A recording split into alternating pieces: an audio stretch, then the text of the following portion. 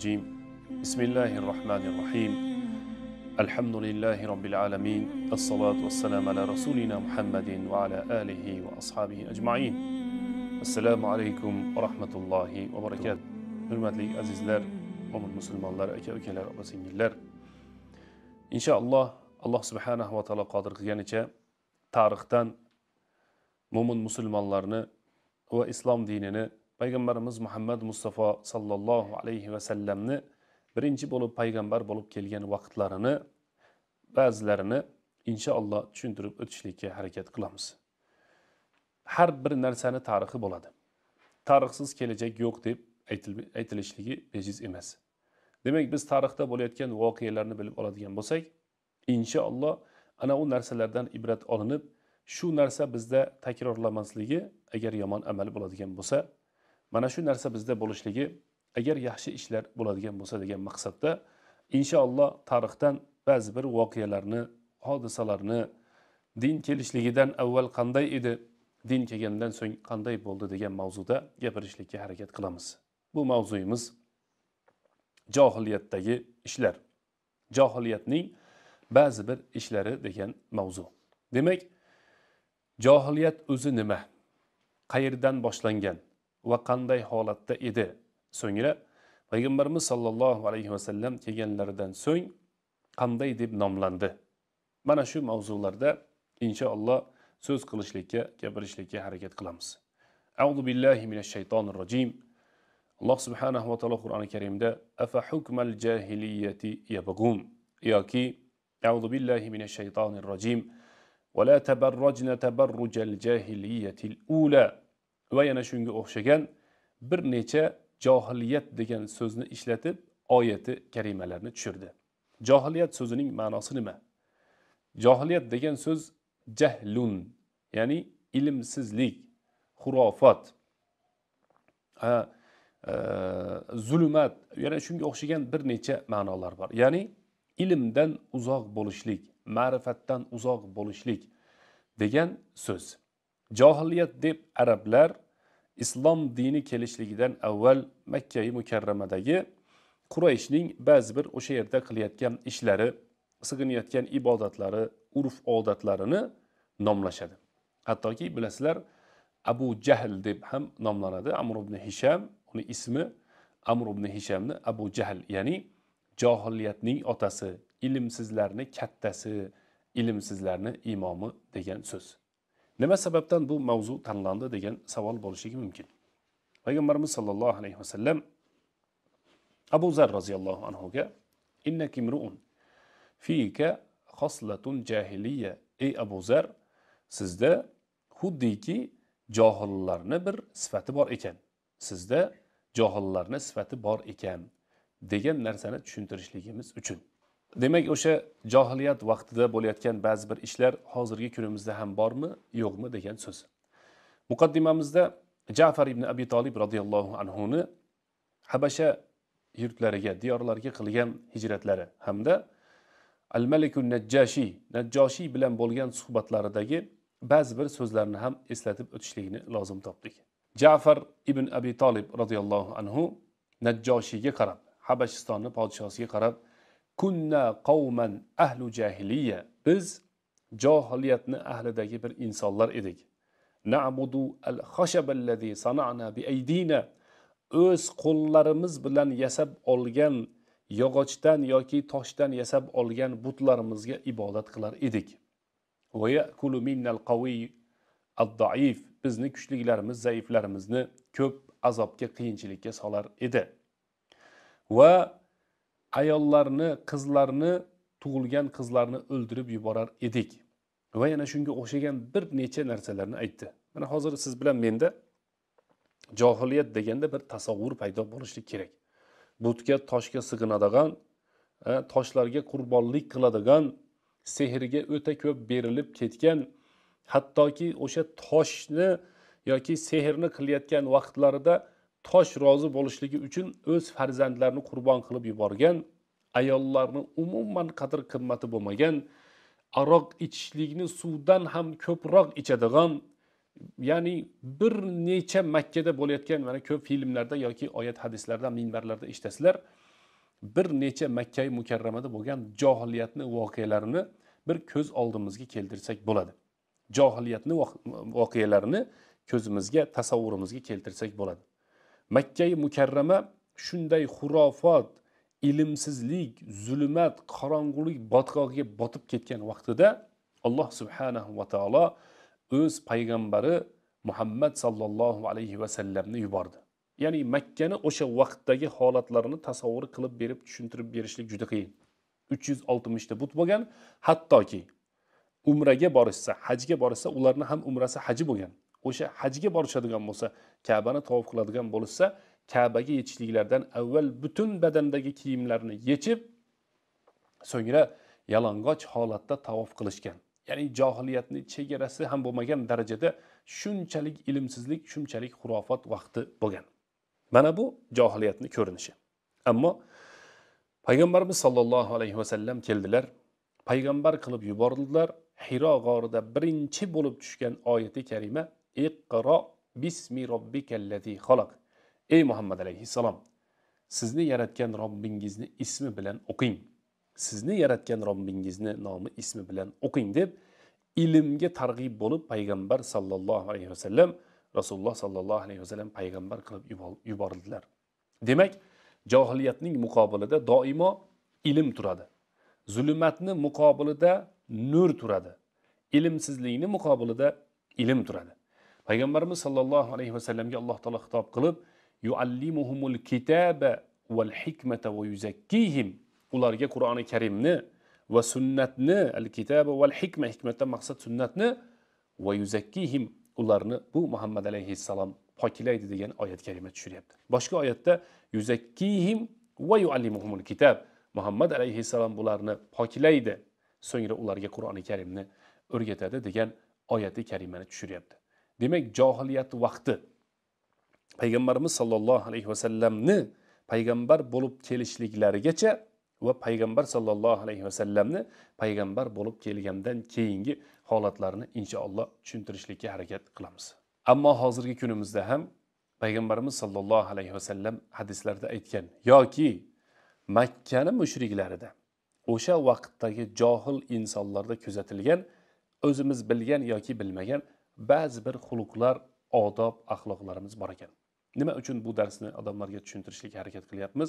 Bu tarixiy dars emas balki al axloqiy deyiladi. Axloqiy dars bo'ladi inshaalloh.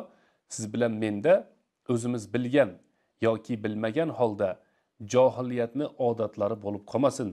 Astag'firulloh alloh taolo saqlasin. Xuddiki makkani mushriklariga o'xshagan ba'zi bir fe'l atvorlarimiz xulq odoblarimiz o'sha zamondagi din kelishdan avvaldagi johiliyat deb nomlangan sifatlar yoki xulq odob axloqlar siz bilan bizda bo'lib qolmasin. Agar o'zimiz bilmagan holda mana shu narsalar bo'ladigan bo'lsa bularni to'g'irlashlikka harakat qilamiz. Alloh subhanahu va taolo qur'oni karimda johiliyatni ba'zi bir ishlarini yomonligini noto'g'riligini bayon qilib oyati karimalarni tushirdi. Biz o'tgangi darsimizda aytdikki johiliyat amallaridan johiliyatdagi makkani mushriklari ba'zi bir qilib kelgan amallarini noto'g'ri ekanligini inshaalloh bir necha darslarda tushuntirib boramiz. Alloh taolo qodir qilganicha deb aytgan edik. Bugungi mana shu johiliyat amallaridan biri vadul banati va qatlul avladi farzandlarni o'ldirib yuborishlik qizlarni tiriklayin ko'mib yuborishlik degan mavzu. Qizlarni ayniqsa tiriklayin ko'mib yuborishlik degan mavzu. Bir kishi savol berib so'rayapti. Aytyaptiki domla haqiqatdan ham arablarda farzandlarini o'ldirishlik tiriklay o'ldirishlik degan narsa bormi? Bir inson tarixda yozibdiki bunday narsa bo'lishligi mumkin emas degan so'zni aytibdi. Biz aytamiz alloh taolo qur'oni karimda asdaqul qoilin qul sadaqalloh alloh taolo to'g'ri aytdi sadaqallohul azim buyuk alloh taolo to'g'ri aytdi deb ayting degan oyatga oyat karimalar bor alloh taolo qur'oni karimda bir o'rinda emas balki bir necha o'rinda farzandlarini ayniqsa qiz farzandlarini tiriklay ko'mgan o'ldirib yuborgan otalar haqida oyati karimalar tushirdi auzu billahi minash shaytonir rojim وإذا الموءودة سئلت بأي ذنب قتلت bin qutilat mavudatun degani yosh farzand va idal mavudatu suilat qiyomat kunida o'ldirilgan farzand so'raladigan bo'lsa bi ayyidan bin qutilat nima gunohi tufayli mana bu farzand yosh bola chaqaloq go'dak o'ldirilib yuborildi degan savol berilsa ularni ahvoli qanday bo'ladi degan oyati karima. Johiliyat davrlariga qaytadigan bo'lsak johiliyatda savol tug'ilishligi mumkin. Birinchi bo'lib farzandlarni o'ldirishlik ayniqsa qizlarni o'ldirishlik degan narsa qayerdan kelgan fikr bu nima degan so'z qanday urf qanday odat insonni aqli qabul qilmaydigan narsa. Deyilsa arablarda banu robia adashmayotgan bo'lsak qabilasi g'azat qilib bir birlari bilan urushib ikkita qabila bir birlari bilan urushganda banu robia qabilasi ya'ni u qabila bilan boshqa qabila urushadida bu qabila urushda yutkazib yengilib qoladi. So'ngra bulardan olingan farzandlar mol mulklar e, g'animatga olinadida qizlar ayollar asirga olinadi. Asirlarni qaytarib olishlik uchun bu yutkizgan taraf mag'lubiyatga uchragan taraf pullarni to'lab hamma asirlarni qaytarib olganda bir kishini qizi yo'q men asirlikda qaytmayman balki asirlikda qolaman. Men mana shu qabila bilan qolib ketaman deganda bu tarafdagi butun qabila hargi odamga qarab turib aytadi ey falonchi mana seni qizing shunday qildi seni qizing shunday qildi degan so'z bilan boyagi insonga or nomus olib keladi. Hamma qavmni ichida vallohi lav yarzuqinillahu al binta laqataltu allohga qasam agar alloh taolo menga qiz farzand beradigan bo'lsa albatta u qizni men o'ldirib tashlayman dedi mana shundan keyin kitoblarda keladi tarix kitoblarda mana shundan keyin sakkizta qiz farzand ko'radi va hammalarini tug'ilgandan keyin o'ldirib tashlaydi alloh subhanahu va taolo qur'oni karimda وإذا بشر أحدهم بالأنثى ظل وجهه مسودا وهو كظيم ularning birortasi qiz farzand ko'rdingiz deb xabar beriladigan bo'lsa zolla vajhuhu musvaddan uni yuzlari qorayadida yuzlari burishadi. Vahuva kazim ya'ni bu xabar unga yoqmaydi deb qur'oni karimda marhamat qilyapti. Qiz farzandlar haqida inshaalloh keyingi johiliyat darslarimizda bayon qilamiz. Hozir tug'ilgan qiz farzandi o'ldirilishlik haqida aytyapmiz. Farzandni o'ldirilishlik degan masala arablarda shu odamni qilgan ishidan so'ng tarqab ketadi. Qarang ilm bo'lmasa din bo'lmasa to'g'ri yo'l bo'lmasa o'zidan bo'lgan farzandlarni inson tiriklayin o'ldirishlikka borishligi ham mumkin ekan. Ilm ma'rifat bo'lmaydigan bo'lsa qizligi uchun qiz farzandligi uchun tiriklayin o'ldirishlikka odamlar tayyor bo'lib qoladi. Bu yo'lni boshida albatta shayton turadi ularni bu noto'g'ri yo'llarga chaqirib ketadi. Payg'ambarimiz sollallohu alayhi vasallamni davrida bir sahobiy aytadiki bakaytu va bakaytu va bakayt. Men rasululloh sollallohu alayhi vasallamning majlislarida o'tirar edim. So'ngra men yig'ladim va yig'layverdim va yig'layverdim juda ham qattiq yig'ladim. Qola rasulullohi ma yubkik? Ey falonchi nima sababdan yig'layapsiz? deb menga rasululloh sollallohu alayhi vasallam savol berdilar. Qultu ya rasulullohi men aytdim ey alloh taoloning elchisi inna kana li ibnatun. Meni bir qizim bo'lar edi dedi. Ya'ni men safarga ketgan edim tijorat uchun safarga ketib oilam homilador edi. Safarda bir necha muddat qolib ketdim balkim bir necha yillar. So'ngra qaytdim. Qaytib kelsam oilam ya'ni ahli ayolim qiz farzand ko'ribdi. So'ngra boyagi farzand tug'ilib kattayib to'rt besh olti rivoyatlarda mana shunday keladi yoshga kirib qolibdi. Keldim hol ahvol so'radim. Qizim ajmali ma yakuna minal atfal? Qizlarning eng chiroyligi yosh go'daklarning eng chiroyligi ekan. Lekin adrokatni al ar oriyat kuch keldi. Qizni bo'lishligi oriyat ekan. Oriyat menga kuch keldida qultu zayyiniha valabbisiha men ayolimga aytdim bu qizimni eng chiroyli kiyimlarni kiydirib qo'ying. Eng yaxshi ziynatlar bilan ziynatlab qo'ying deb ayolimga aytdim. Qolatlima ayolim so'radi nima uchun ziynatlantiramiz nima uchun kiyintiramiz? deganda men aytdimki linazura biha ahlaha qarindoshlarni bir ziyorat qilib kelsin deb men aytdim dedi. Ayolim bilib qoldi. So'ngra aytdiki ya fulan la tudayyi'il amana. Ey falonchi omonatga xiyonat qilmang farzandni o'ldirib yubormang dedi. Men qizimni yetakladim. Qadim. Uzoqroqda odamlarni yoddan ko'tarilib qolgan bir quduqcha borligini bilar edim. So'ngra mana shu quduqqa olib bordimda qizimni erkalatib olib bordim va quduqqa qarasam suvdan men va qizim o'zimizga qayta ko'rindik dedi. Adrakatni shavqati va rahma qalbimga rahm shafqat keldida bo'ldi qizimni o'ldirmayman degan fikr keldi. Lekin yana oriyat menga kuch keldida qizimni haligi quduqqa tashlamoqchi bo'lganimni qizim bilib ya abati la tudayil amana ey otajon omonatga xiyonat qilmang. Omonatga xiyonat qilmang dedi demak gapiradigan vaqtida lekin men oriyatdan qo'rqdimda farzandimni quduqqa tashlab yubordim dedi. Tiriklayin. So'ngra tashlab yuborganimdan keyin qizim pastdan baqirdi. Ko'tarilib quduqni chekalariga asilib tirik qolishga harakat qilganda o'z qo'llarim bilan toshlarni olib qizimni boshiga urdim toki boyagi farzandim suvga cho'kib holsiz bo'lib o'lib ketgandan so'ng o'lgandan so'ng nadomat qildim. Islom diniga kirdim. Musulmonchiligini qabul qilganimdan so'ng bu bir qatlu nafs insonni o'ldirgan qotillik bilan barobar ekanligini bildim. Ammo hech qachon shu qizimni o'z qo'lim bilan o'ldirganligim ko'z oldimdan ketmayapti ya rasululloh deb yig'laganda. So'ngra men rasululloh sollallohu alayhi vasallamga qarasam payg'ambar sollallohu alayhi vasallam ham yig'lab turgan ekanlar. Payg'ambarimiz sollallohu alayhi vasallam ham yig'lab turgan ekanlar deb aytadi. Hatto boshqa rivoyatda boshqatdan aytib bergin degan joyi ham bor.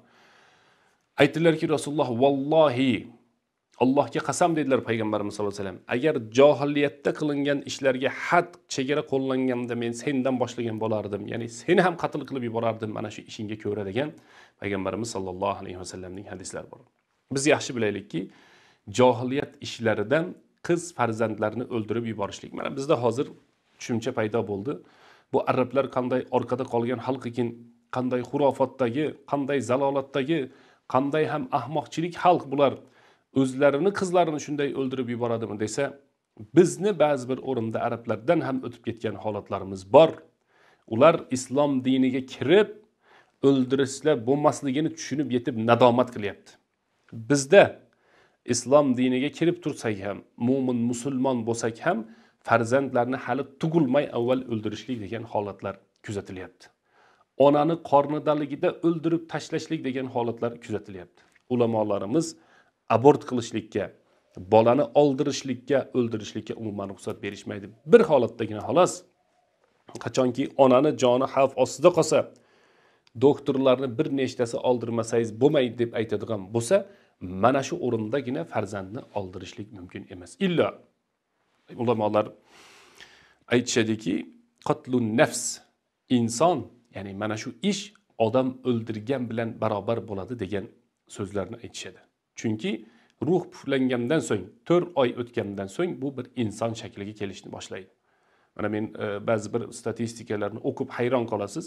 ikki ming o'n to'rtinchi va ikki ming o'n to'qqizinchi yillarni o'rtasidagi mana shu qirg'izistonda rasmiy abort qilingan raqamlarni o'qib qo'rqib ketasiz ikki ming o'n to'rtinchi yilda yigirma to'rt mingdan oshgan bo'lsa ikki ming o'n to'qqizinchi yil o'n to'qqiz mingga yaqin abort qilingan ya'ni onani qornidagi farzand olib tashlangan o'ldirilgan. Qiyomat kunida u farzand so'ralsa nima uchun o'ldirildi bu farzand deb farzanddan so'raladigan bo'lsa uni o'ldirganlar nima deb javob berishadi degan oyati karima bor. Johiliyat davrida biz darsimizda aytdik johiliyatda bo'layotgan ba'zi bir ishlar hozir bizda ham bo'lyapti. Mana shuning uchun biz bu darsni nomini johiliyatni amallari deb nomladik. Ammo ularni davrida bo'layotgan ishlar hozir ham bo'lyapti. Ular bolasi tug'ilgandan keyin o'ldirsa biznikilar tug'ilmasdan avval o'ldirib qo'yishyapti. Bir necha azob va qiyinchiliklar bilan. Mana dunyoda qancha farzandga muhtoj. Bir o'g'lim bo'lsaydi bir qizim bo'lsaydi farzandim bo'lsaydi haligi nima deydi tirnoqqa zor bo'lgan odamlar bor.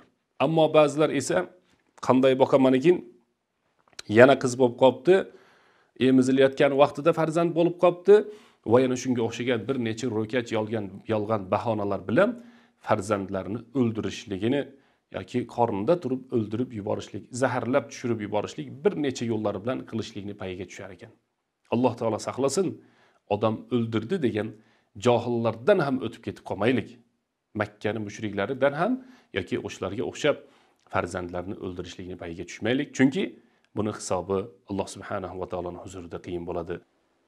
Hurmatli eh, ahli islom ahli iymon aziz mo'min musulmon aka ukalar opa singillar biz e, yaqinda bir o'sha johiliyat amallari degan bir ikkita mavzular qilishga harakat qilgan edik. O'shani navbatdagisini inshaalloh tushuntirishga harakat qilamiz va muqaddimamizda eslatib o'tmoqchimizki johiliyat amallari islomdan avvalgi makkani mushriklari makkada yashab turgan arablarni qilayotgan ba'zi bir odatlar haqida. Nima sababdan johiliyat amallari haqida gapirilyapti deyilsa hozirgi kunimizda johiliyat emas balki johiliyatdan ham ashaddiyroq bo'layotgan ba'zi bir amallar bor. To'g'ri biz o'sha vaqtdagi arablarga o'xshab kiyinmasligimiz mumkin.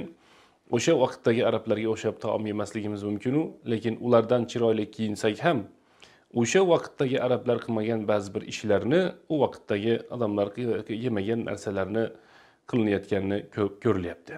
Bugungi johiliyat amallaridan biri navbatdagisi johiliyat davridagi arablarni aroqqa berilib ketganligi haqida. Johiliyat davridagi arablarni juda ham al muskirot deydi. Odamni mast qiladigan odamni o'zini aqlini yo'qotib qo'yadigan narsalarga berilib ketganligi haqida ozgina bayon qilishlikka harakat qilamiz. Payg'ambarimiz muhammad mustafa sollallohu alayhi vasallam johiliyat davrida ham umuman xamr deyiladi aroq ichmaganlar. Va payg'ambarimiz sollallohu alayhi vasallamning do'stlari abu bakr siddiq roziyallohu anhu ham umuman johiliyat davrida aroq ichmagan ekanlar. Hattoki ba'zi bir rivoyatlarda keltiriladi.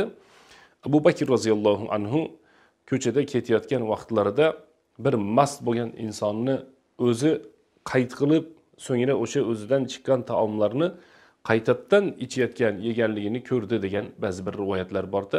Mana shuni ko'rib hech qachon men aroq ichmayman deb aytgan ekanlar. Hozirgi kunimizga kelib ba'zi bir odamlarni ko'rsangiz aroqlarni ichishlik bilan mashg'ul bo'lishadi.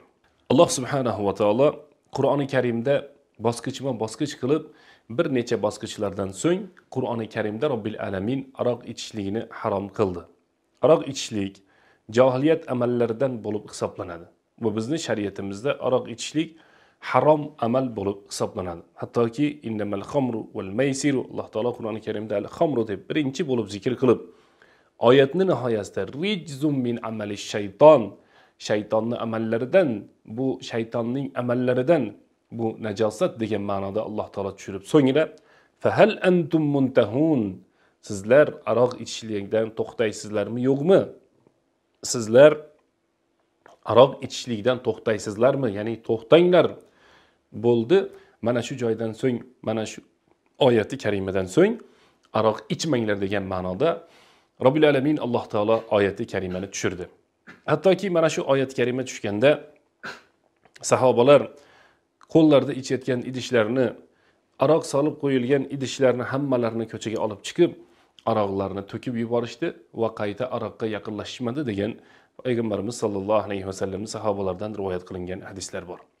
Jaholiyatni amallaridan biri shunday ediki arablar bir necha narsalardan aroqni ichishar edi aroqni yasashar edi so'ngra aroqni ichishar edi masalan ba'zi bir odamlar hozir ham ichishadi sog'lig'ingga foyda ekan yo unday ekan yoki bunday ekan degan so'zlarni dalil qilishib.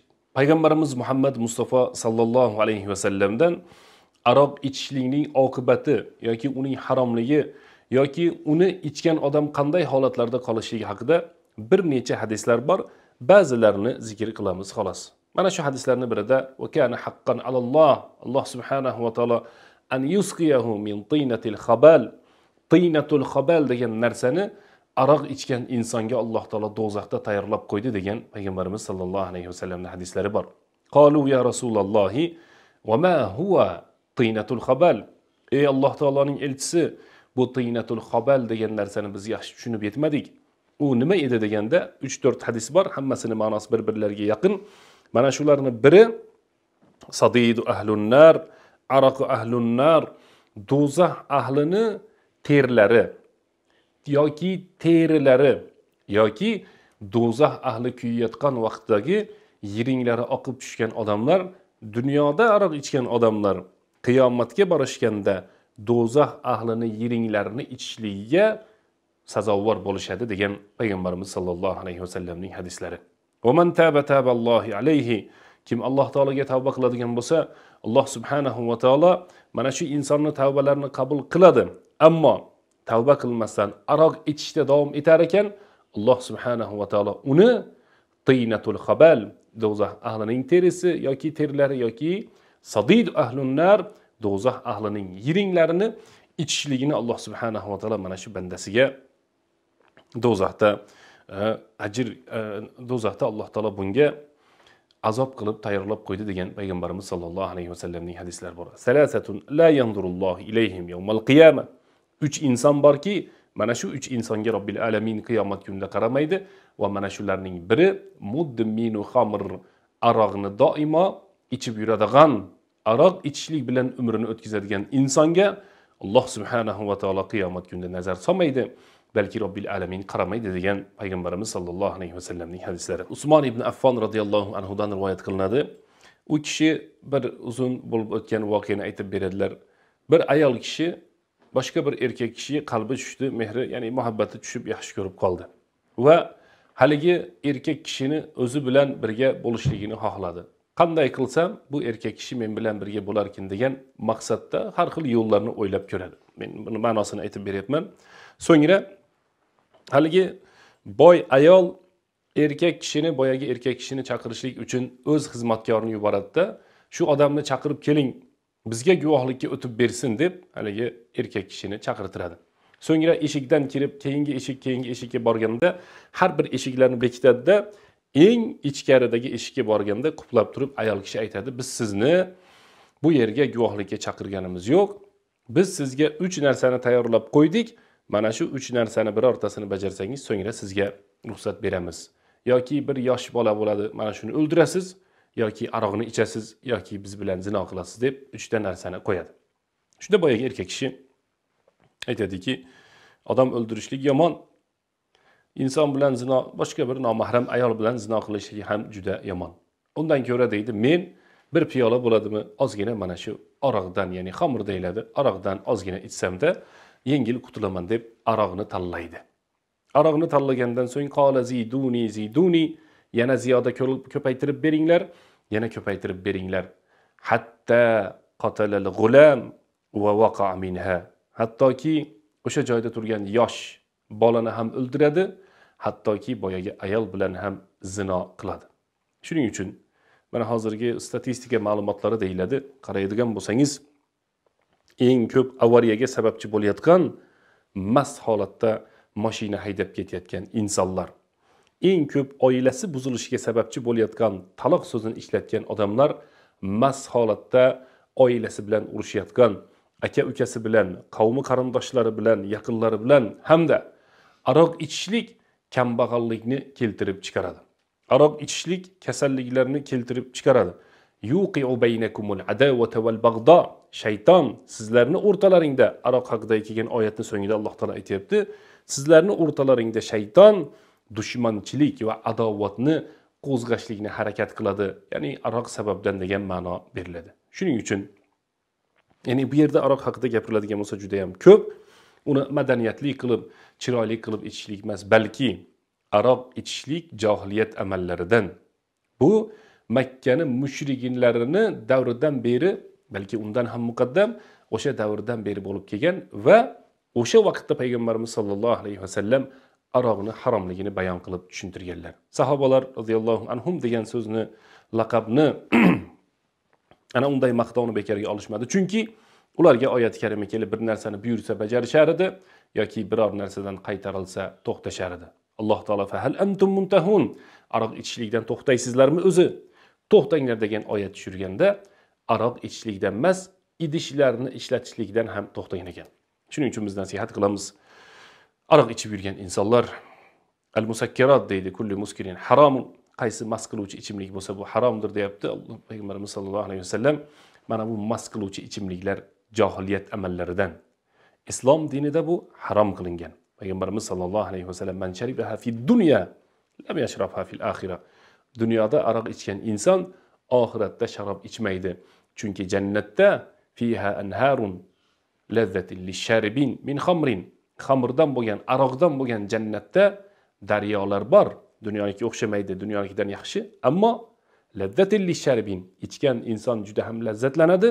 Payg'ambarimiz sallallohu alayhi vasallam hadisda aytyaptilarki kim dunyoda ichadigan bo'lsa oxiratda aroq ichmaydi degan rasululloh sollallohu alayhi vasallamning hadislari bor. Hurmatli aziz mo'min musulmon insonlar aroq ichishlikni ba'zi bir insonlar o'rgangan bo'lsa ana u narsani to'xtatish kerak kamaytirish kerak nihoyasiga yetkazish kerak buni haromligini his qilishlik kerak. Nima uchun? Alloh taolo qiyomat kunida nazar solmaydi.